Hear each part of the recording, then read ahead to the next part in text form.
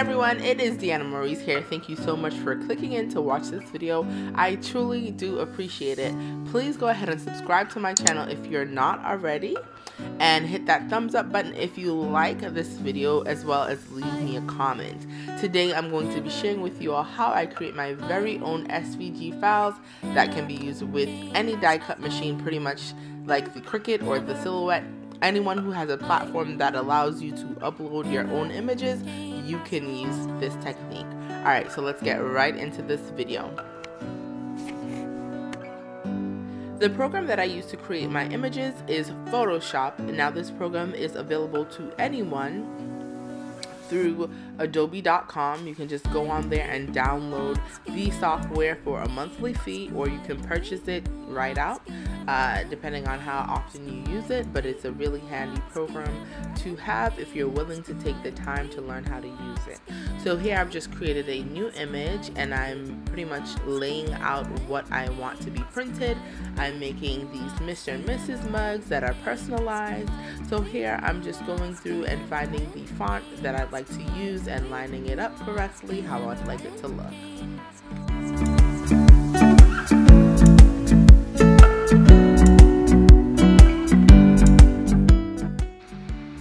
if you're using a cursive style font, you're going to want to add a stroke to it because you don't want it to be too thin when the machine cuts it out. You want it to be thick enough, not too thick, but thick enough that it could transfer easily onto your desired surface. If you have different layers like I do, make sure to go ahead and center the items or lay them out exactly how you want it to cut and group it so that it'll move together in one unit. Now this is the most important part of this entire tutorial. You want to make sure that you deselect the I button so that you can no longer see the background and you are seeing kind of this onion grid. I believe that's what they call it behind your image. This now means that your image moves on its own without a background and is now considered a clear image. Once you have that, you want to save it as a PNG file. So typically on Photoshop, it comes up as a PSD, which is Photoshop. If you want it to look like a a picture, you save it as a JPEG, but for the clear background, you need to save it as a PNG file.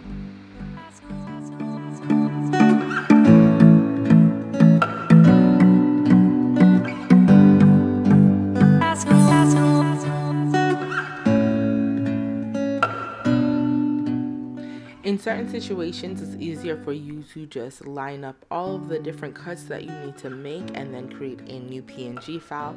For example, for these cups, I made about 19 different names. So instead of uploading individual names all at different times on Cricut Design Space, I did a layout similar to this and created a new PNG file so that it would be a lot easier for me. Alright, go to Cricut Design Space and hit this upload button. It's a cloud with the arrow pointing up. You don't want to hit the image button, you want to hit the upload button. Then select the image that you saved as a PNG file. Because it's already in the format that we need it to be, just go ahead and hit simple because we don't want it to pick up any additional lines. There's no additional colors. We just want it to be a nice smooth image. Now we're going to save it as a cut image. So Cricut Design Space will read it as something that just automatically needs to be cut and it's not something that needs to be printed first. Then go ahead and save it. Once you save it, you can click on it and insert it and there you go. That is how you create your own SVG or PNG files that can be used on many different die cut platforms.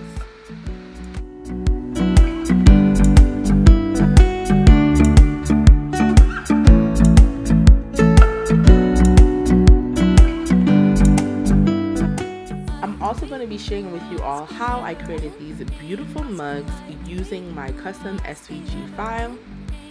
Here I'm using Oracal Black Gloss permanent vinyl that you can pick up online or at Michael's. Go ahead and remove your front portion that you no longer need from the backing and it should just glide off. I love Oracal vinyl. It's been the best one that I've worked with thus far. I've picked up some Siser. So the Siser brand, I'm gonna go ahead and try that out in a bit to see how that works out and I'll let you guys know if I like that vinyl. But here I'm using my transfer tape and I'm lining it up with my vinyl cutouts and I'm just trying to get it as even as possible. I ended up cutting out the names separately so here I'm just trying to join the Mr. and the Davis together. I did that because once the image was cut out I wanted the names to be a little larger but here I'm using my tool and I'm pushing from the center up so that it releases all of the air bubbles and then you can remove your backing and there you go you have your vinyl transfer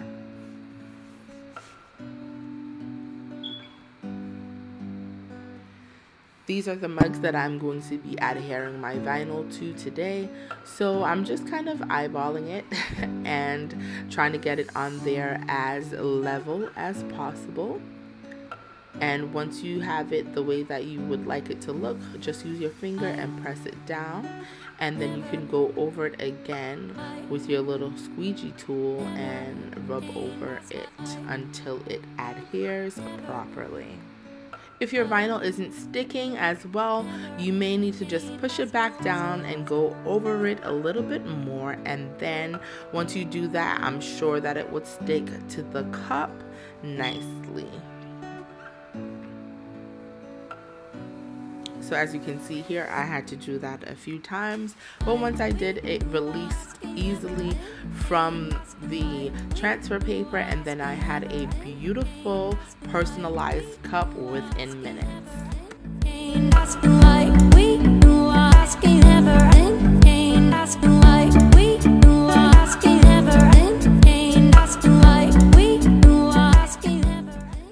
also wanted to share with you all how I decorated the hall for this event. It was a very small and intimate event with only about 30 guests, but we totally loved the way that it came out and it was a really beautiful event overall. We kept it really romantic since it was a event celebrating love. So we used a lot of pinks and reds and burgundies with gold chargers that definitely warmed up the area. I also have a custom layout here of the love is patient, love is kind, the scriptures that you can find in Corinthians uh, here and it was just a really really beautiful touch to our event. Over here is where the food would be but you guys remember this. You guys have seen this in a previous video that I did. So if you haven't seen it go ahead and check it out. And so this was the way that the event turned out looking and I totally loved it